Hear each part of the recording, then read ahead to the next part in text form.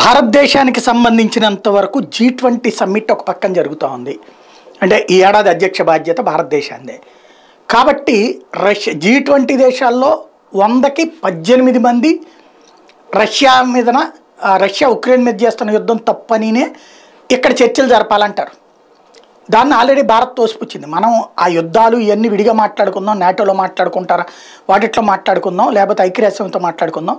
G ట్వంటీలో కావాల్సింది మన ఇరవై దేశాల ఆర్థిక స్వావలంబన ఎట్లాగా పర్యావరణానికి సంబంధించింది ఎట్లాగా కరెంటుకు సంబంధించి ఎట్లాగా మన భవిష్యత్ తరాల గురించి మాట్లాడుకుందాం అంటే మోడీ మొదట తేల్చి చెప్పేశాడు. దీంతో లేదు లేదంటూ ఉక్రెయిన్ అధ్యక్షుడు లేకపోతే అమెరికా వీళ్ళందరూ కలిసి జీ ట్వంటీలో ఉక్రెయిన్ అధ్యక్షుడు కూడా పిలవాలి.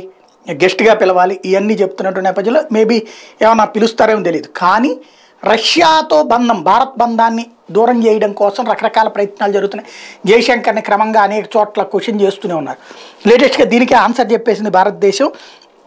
సహజంగా సమ్మిట్ జరిగేటటువంటి సందర్భంలో జీ ట్వంటీ సమ్మిట్కి సంబంధించిన బాధ్యతలు నిర్వహిస్తూ జీ ట్వంటీ సమ్మిట్ని మానిటర్ చేసే వాళ్ళని షేర్వా అంటారు. ఈ సమ్మిట్లో షేర్వా పాత్ర ప్రధానం. ఇప్పుడు భారత్ షేర్వా అయిన అమితాబ్ కాంత్ కీలక ప్రకటన చేశారు. మా దేశంలో జీ ట్వంటీ సమ్మిట్ జరుగుతున్నా కూడా మేము మాత్రం రష్యాను వదులుకోం.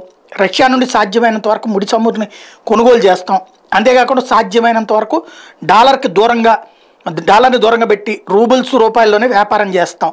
అందులో మా విధానంలో ఎట్లాంటి మార్పు లేదు. మేము జీ ట్వంటీకి నాయకత్వం వహించినంత మాత్రానని తేల్చి చెప్పేశారు.